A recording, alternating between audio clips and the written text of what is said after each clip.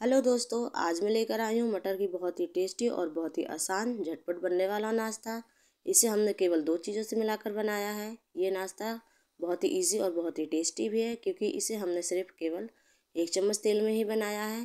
तो इस रेसिपी को एक बार आप ज़रूर ट्राई कीजिएगा। अगर ये वीडियो आपको अच्छी लगे तो फैमिली एंड फ्रेंड्स के साथ शेयर ज़रूर कीजिएगा। तो चलिए इसे बनाना शुरू करते हैं। हेलो फ्रेंड्स कैसे आप सब? स्वागत है आपका मोनिका हम किचन में। तो इस नाश्ते को बनाने के लिए हमने सबसे पहले यहाँ पर एक कटोरी मटर ली है, ये फ्रेश मटर है, आप चाहे तो फ्रोज़न भी ले सकते हैं। सबसे पहले इन मटरों को हम उबाल लेंगे, इसे खुले बर्तन में ही उबालें, कुकर में ना उबालें, वरना इसका छिलका जो है अलग हो जाएगा।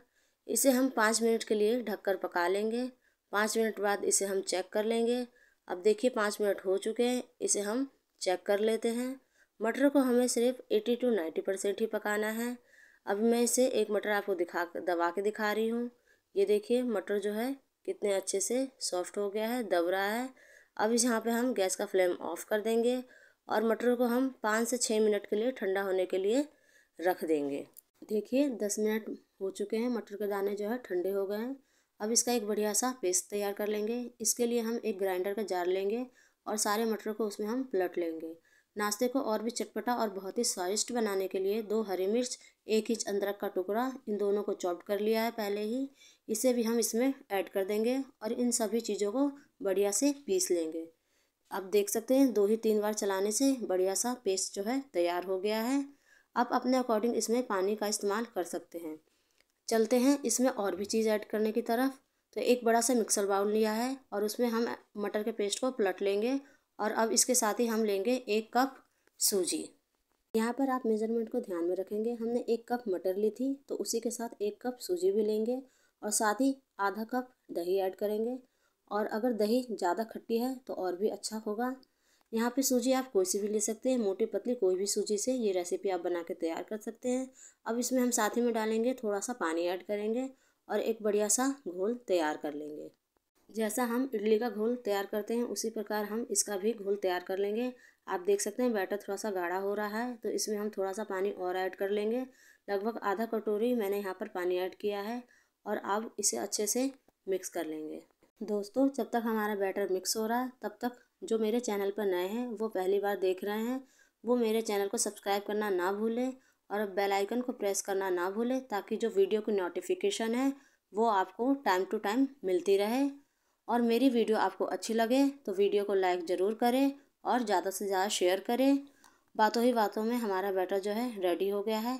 अब हम इसे आधे घंटे के लिए ढककर रख देंगे और आधे घंटे बाद इसे हम चेक कर लेंगे। अब आधे घंटे बाद मैंने यहाँ पर इडली का मोड़ लिया है। अब इसमें हम थोड़ा सा तेल लगा के इसे अच्छे से ग्रीस कर लेंगे।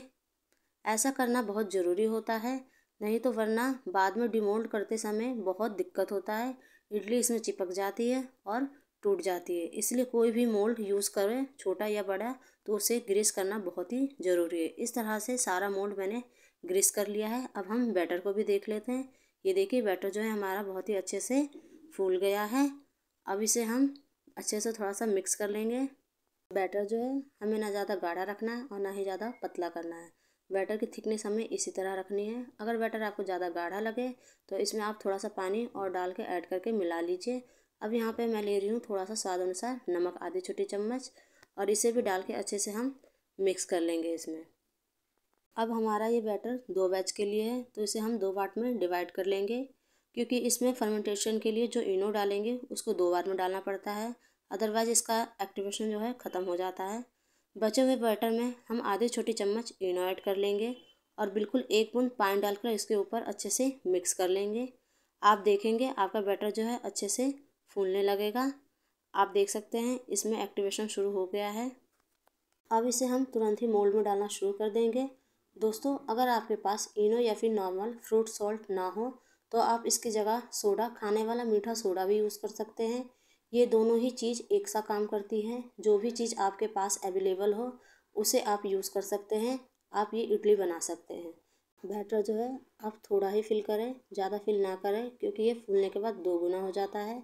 दूसरी तरफ़ हमने गैस पर कुकर में थोड़ा सा पानी भरकर गर्म होने के लिए रख दिया था। जब पानी अच्छे से बॉईल होने लगे, तब हम इस स्टैंड को कुकर में डाल देंगे और ढक्कन लगा के अच्छे से बंद कर देंगे। आप जब कभी भी कुकर में इडली या फिर ढोकला बना रहे होते हैं तो इसका वेट यानी सीटी जो है हमें निकाल लेना होता है, जिससे कि इसमें प्रेशर ना आए। दस से पंद्रह मिनट इसे हम लो फ्लेम पर पका लेंगे।